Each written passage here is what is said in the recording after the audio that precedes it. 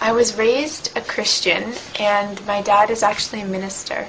And we attended church every Sunday when I was young, and I always had like a strong sense of moral values and all that sort of stuff. And I always had such a passion and love for God, and I've always loved the prophet Jesus, peace and blessings be upon him. But I just, there was a lot of questions and a lot of things that didn't make sense to me. Like the Trinity, for example, just never made sense to me.